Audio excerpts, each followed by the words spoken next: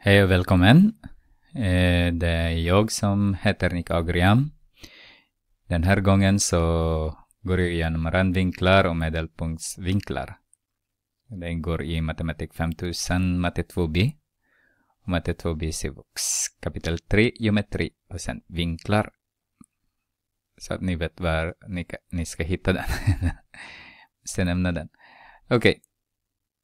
Innan vi går innan vi börjar så måste vi ha pratar vi om uh, cirkel först. Okej, cirkel. Ni är medvetna om den. Det finns medelpunkt där i mitten som jag gör nu. Jag hoppas att ni såg det, men om ni såg inte det så har jag där nu. Okej, det är medelpunkt. Eh, om vi drar en linje från eh, en sida till annan sida som inte går igenom medelpunkten, den heter kurda. Det är jätteviktigt. Ni måste kunna förstå.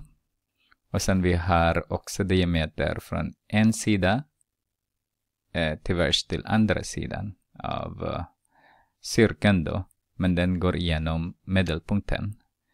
Då heter den diameter. Och sen har vi också radie. Alltså en cirkel eh, har en radie från en sida till medelpunkten. Och det är en radie och det är hälften diameter. Det vet ni redan. Eh, randvinkel. Ja, eh, just det. Den här, om jag, om jag drar två, två radier då. Och sen har jag den här då. Den. Den heter cirkelbåge. Det är den som är viktigt att vi kan, uh, ni kommer ihåg sen. Uh, figuren visar en randvinkel V, står här. Och en medelpunktsvinkel. Den här är randvinkel.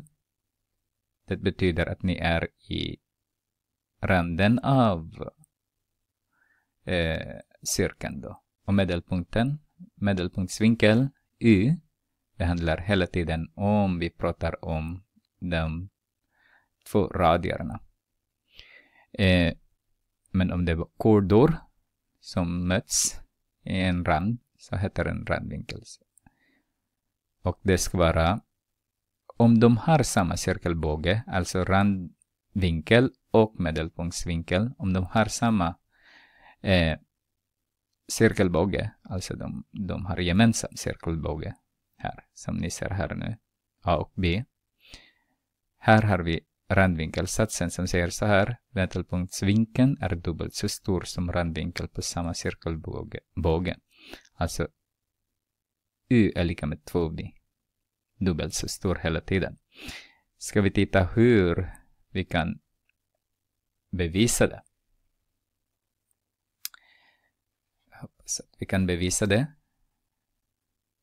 Här, vi har fall 1 här. Det står fall 1 i er bok fall 1. Hur kan jag bevisa det? Det här är fall 1. Så till exempel jag har en uh, diameter och jag har en kurda. CB är en kurda. Och den här, den här, den. Den där är randvinkel. Som öppnar i AB. Okej. Okay. Jag kanske kan ta en annan penna. Och den här och den där är medelpunktsvinkel som öppnar i cirkelbåge AB. Det betyder de har gemensam cirkelbåge. Eh, ska vi titta? Den som vi har lärt oss nu då, alltså Y är lika med X addera med z. Den har vi lärt oss är, det är genom att använda yttervinkelsatsen.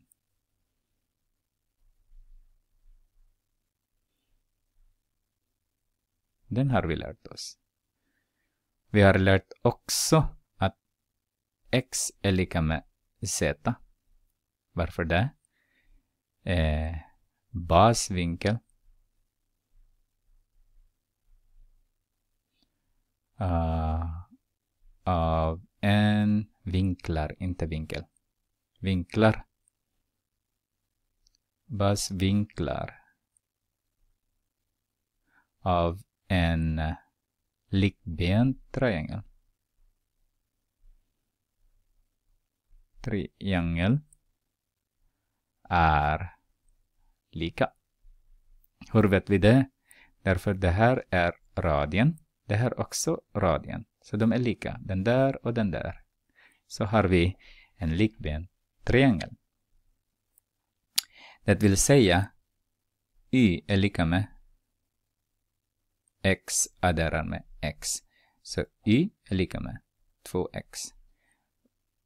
Den här visar att um, randvinkel, den y här, är dubbelt så stor som, ah, nej, metal, medelpunktsvinkel är dubbelt så stor som randvinkel.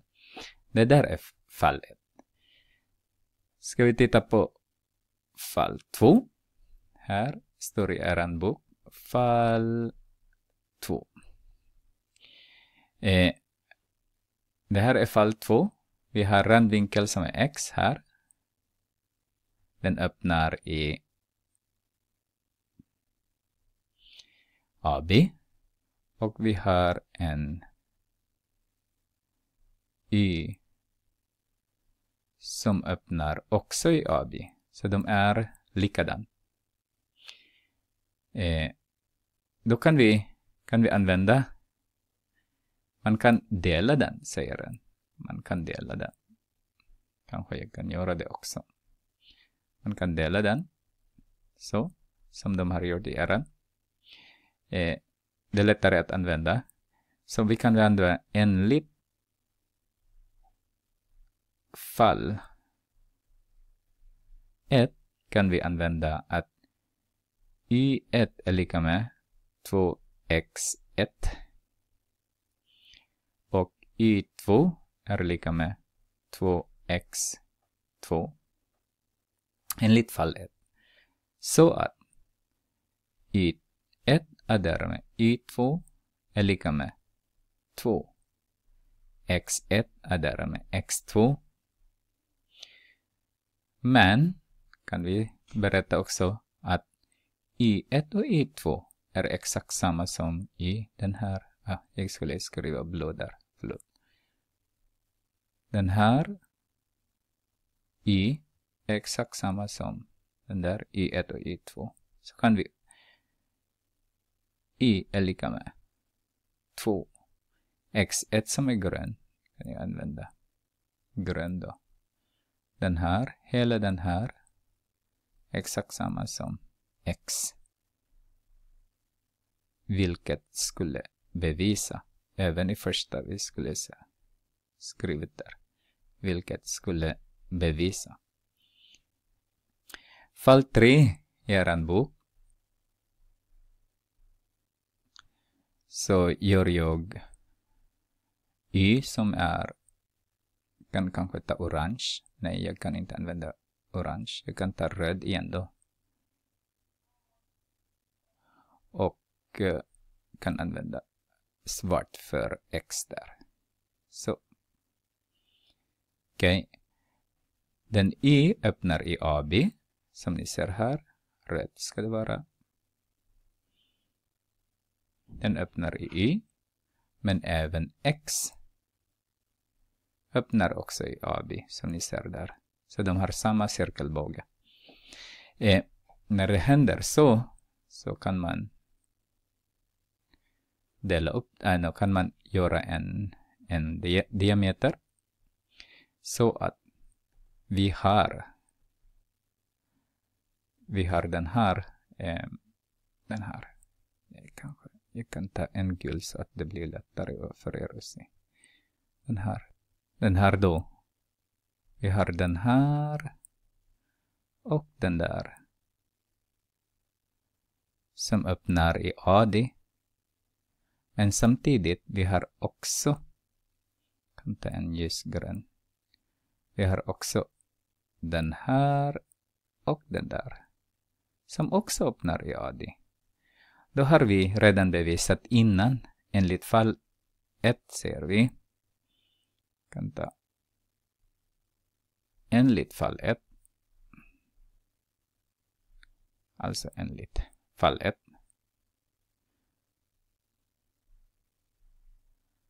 1 så har vi y1 är lika med 2x sub 1. Och detsamma med, med eh, y2 då. Vi har y2 är lika med 2x sub 2. Men, men, den som vi letar efter bara är den här. Eh, x av 2 vi har är den hela den här. Jag kan ta kanske rosa. x av 2 är hela den här. Den här. Den där är Excel2. Men den vi letar efter är jättekrångligt nu. Den bara.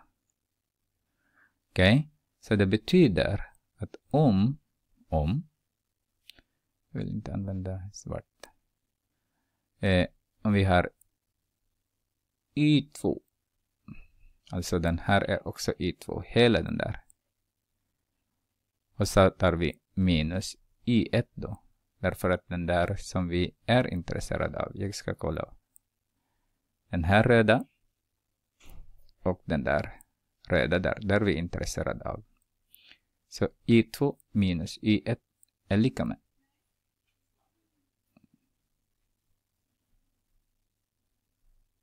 2x2 subtraherar med 2x1. Eh, så har vi i den här, den här hela, är i den röda pricken som jag har. Så vi har 2 multiplicerar med x2 minus x1.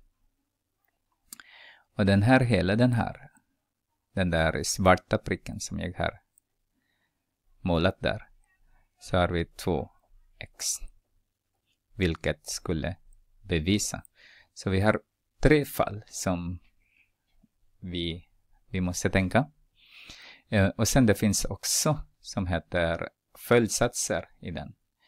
Eh, alla randvinklar på samma cirkelbåge är lika stora, alltså den här och den där och den där lika stora. Varför det? Därför att de har samma cirkelbåge och de har samma medelpunktsvinkel. Eh, om det inte är det, så det naturligtvis de inte lika. Eh, en randvinkel på en tvåande då, cirkelbåge, är alltid 90. Varför det? Därför att den här i mitten är 180. Och det vet vi redan att hälften av den är randvinkel, så det måste vara 90. Så om den går eh, genom, genom medelpunkten, det är det 180 hela tiden och den randvinkelvinklarna är 90. Och sen vi har den här som är lite svårare för elever, mina elever i alla fall att förstå. I en fyrhörning som är inskriven i en cirkel är summan av motstående vinklar 180 grader. Eh, vi, vi får se först. Vi tittar först på eh, y. Det är lättare att se för y. Eh, till exempel y. Det här är vår randvinkel. Och 2i är också den här randvinkeln. Den här är vår 2i. Så i 2x plus 2i, det är samma princip med x också, då har vi 360, alltså 2x plus 2i. Det vill säga om vi förenklar den så har vi x plus y lika med 180. Det är viktigt att eh, kunna tänka på det. Gå tillbaka sen om ni tycker att det är lite jobbigt. Och jag går igenom ex äh, några exempel i nästa video. Det klarar jag inte i den här videon.